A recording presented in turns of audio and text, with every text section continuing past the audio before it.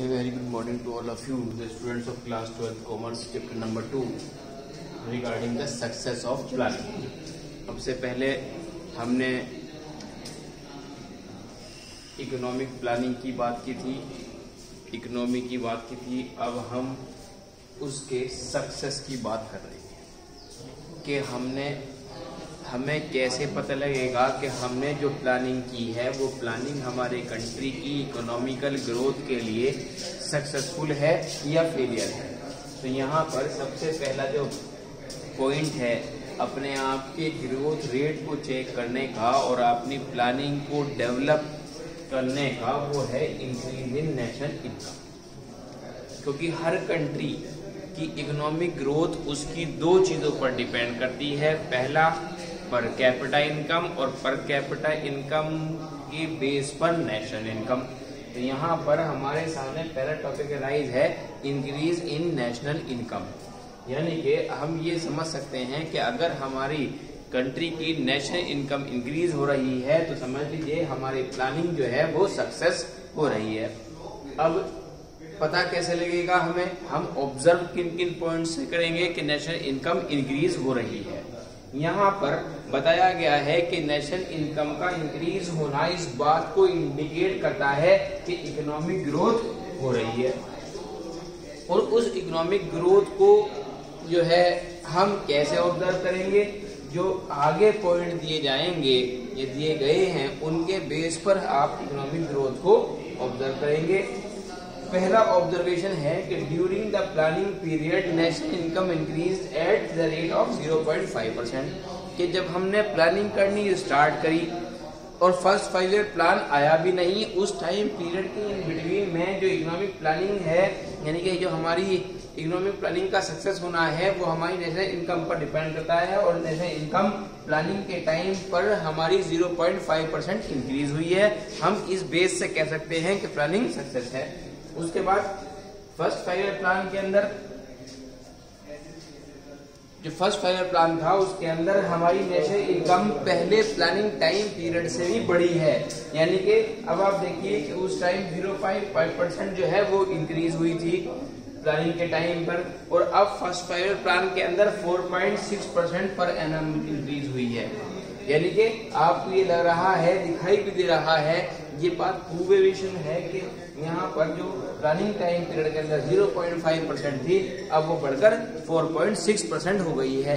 ऐसे ही हम third second five year plan में थर्ड फायर प्लान में इसको हम डिस्कस करेंगे।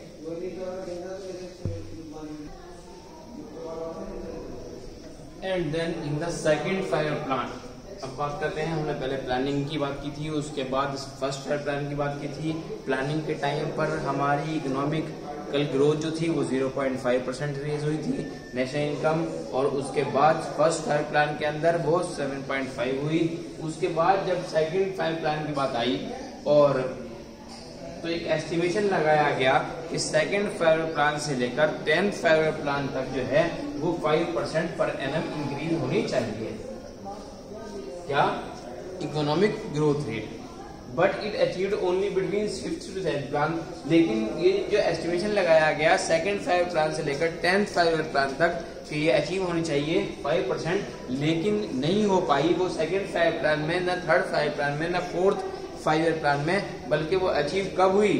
वो अचीव हुई आपकी फिफ्थ फाइव ईयर प्लान के अंदर। यानी कि यहाँ पर फिफ्थ फाइव ईयर प्लान के अंदर वो टारगेट जो है, वो अचीव हुआ आपका टेंथ फाइव प्लान का।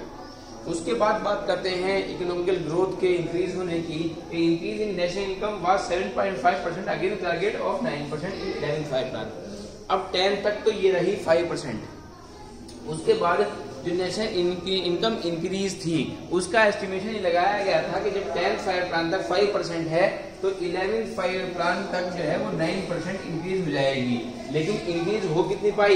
7.5 परसेंट यानी कि इसके बाद 2.5 परसेंट और इंक्रीज हुई, जिससे कि ये टारगेट जो है वो अचीव तो नहीं हुआ, जबकि नाइन परसेंट होना चाहिए था। लेकिन वो अचीव कहाँ तक हो गया? 7.5 परसेंट तक अचीव हो चुका। तो पता ये लगा कि जब हमारी प्लानिंग पीरियड से लेकर फ़र्स्ट फायर प्लान फिर सेकंड फिर टेंथ फिर आपका आपका इलेवन फाइव प्लान ये परसेंटेज हमारी डे बाय डे इंक्रीज होती जा रही है। उसके बाद जो है, अब हमारी इलेवन फाइव प्लान के अंदर हमारी जो परसेंटेज है वो कितनी है? सेवन पॉइंट फाइव परसेंट है। उसके बाद अगर हम बात करते हैं इलेवेंथ फाइव प्लान के बाद ट्वेल्थ फाइव प्लान की तो ट्वेल्थ फाइव प्लान के अंदर क्या है? कि during the twelfth plan was 6.7 percent as per annum as the against of 8 percent अब ये एस्टिमेशन लगाया गया कि जब 7.5 परसेंट बढ़ गई है, यानी कि 5 से बढ़कर 7.5 हो गई है तो अब कम से कम एक ट्वेल्थ फाइव प्लान के अंदर 8 तो हो जानी ही चाहिए। ठीक है? लेकिन क्या है कि वो क्या कहना चाहिए 6.7 परसेंट जो है, वो इंक्रीज हुई। जबकि एट परसेंट मान के चल रहे थे कि 8 परसेंट इंक्रीज होगी 12 फाइव प्लान के अंदर इकोनॉमिक ग्रोथ लेकिन वो 6.7 परसेंट इनकम क्या कहना चाहिए ही इंक्रीज हो पाई नेचुरल इनकम तो लेकिन यहाँ पर एक सिमिलर पॉइंट इसके अंदर ये है कि जितने भी हमने टॉपिक्स यानी कि पॉइंट पढ़े हैं, यानी कि प्लानिंग पीरियड उसके बाद आपका फ़र्स्ट फाइव प्लान उसके बाद सेकंड से लेकर टेंथ तक, फिर उसके बाद आपका इलेवेंथ फाइव प्लान अब जो हम tenth twelfth last five plan पर पढ़ रहे हैं, उसके अंदर भी नेशनल इनकम को, का इंक्रीज हुई है नेशनल इनकम को ग्रोथ मिली है, इसलिए उसकी ग्रोथ परसेंटेज कितनी है नेशनल इनकम की? 6.7 परसेंट है। तो इन सब ऑब्जर्वेशन के बेस पर हम ये कह सकते हैं कि नेशनल इनकम इंक्रीज हुई है और ये हमारी प्लानिंग के सक्सेस होने का एक बेस पॉइंट है।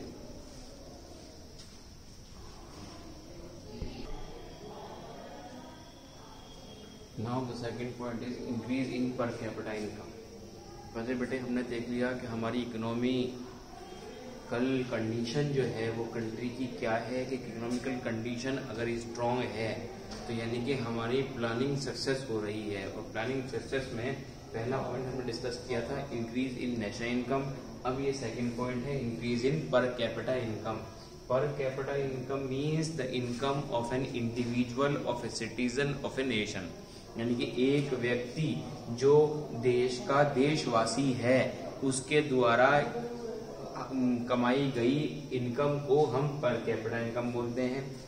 और उसी पर कैपिटा इनकम को रेज करना इंक्रीज करना जो है, वो समझ लीजिए सक्सेस होना है प्लानिंग के अंदर।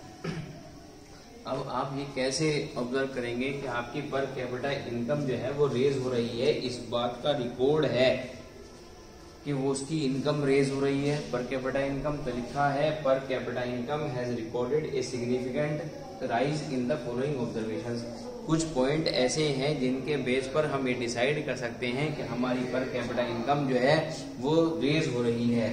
यहाँ पर पहला जो पॉइंट है, वो है during the planning period planning period के टाइम में जो हमारी पर कैपिटा इनकम का रेट है, वो क्या है?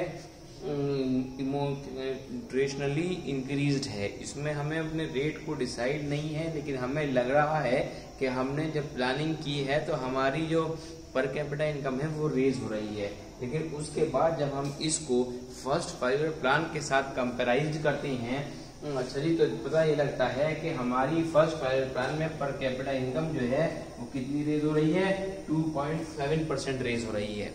और यही एक्सपेक्टेशन उनको है कि ये 2.7 परसेंट जो हमारी पर कैपिटा इनकम रेज हो रही है, वो फ्रिक्वेंटली ईयर्स में चलने वाली है, यानी कि जितने भी सब्सिक्वेंट ईयर्स हैं, उनमें चलने वाली है। ड्यूरिंग द इलेवेंथ प्लान अब बात करते हैं, जब आपका फ़र्स्ट फाइव प्लान से टेंथ फाइव प्लान तक हमारी सब्सिक्वेंट रोल चलने वाली है 2.5 परसेंट अब जो है, वो इलेवेंथ फाइव प्लान के अंदर जो ग्रोथ रेट है, वो बढ़कर कितनी हो गई है? सिक्स परसेंट हो गई है। यानी कि 2.7 percent first to tenth five plan में थी। अब जो है, वो सिक्स परसेंट है। इट मीन्स आपकी कितनी परसेंटेज इंक्रीज हो रही है? आपकी, आप, जो है, वो 3.3 परसेंट इंक्रीज हो रही है। उसके बाद जब हम ट्वेल्थ फाइव प्लान की बात करते हैं तो हमारे पास जो एक्सपेक्टेशन है, वो ये है कि सिक्स परसेंट से ही इंक्रीज होनी चाहिए। लेकिन वो सिक्स परसेंट से इंक्रीज ना होके five point seven percent per annum increase हो रही है। तो पता ये लगा कि परसेंटेज जो है, वो हमारी रेगुलर वे के अंदर, हर सब्सिक्वेंट फाइव प्लान के अंदर रेज हो रही है और उसी रेज की वजह से ही हम ये डिसाइड कर सकते हैं कि जो पर कैपिटा इनकम है हमारी इंडिविजुअल पर्सन की, वो ऑटोमेटिकली फाइव ईयर प्लान के according from the planning period till the twelfth five plan वो डे बाय डे रेज हो रही है। तो इस बेस पर, इन ऑब्जर्वेशंस पर हम ये कह सकते हैं कि हमारी पर कैपिटा इनकम भी रेज हो रही है और उसके साथ साथ नेशनल इनकम भी इंक्रीज हो रही है और ये दोनों पॉइंट ऐसे इंडिकेशंस हैं जो हमारी इकोनॉमिकल प्लानिंग को सक्सेस की तरफ़ डायरेक्ट करते हैं सक्सेस की तरफ़ इशारा करते हैं। इसके साथ साथ और भी बहुत सारे ऐसे एलिमेंट्स हैं पॉइंट्स हैं कि जिनमें हम ये डिसाइड कर सकते हैं कि हमारी जो है प्लानिंग सक्सेस हो रही है। अब तक हमने दो पॉइंट डिस्कस किए इंक्रीज इन नेशनल इनकम और increase in per capita income और जितने पॉइंट हैं वो हम कल डिस्कस करेंगे। Thank you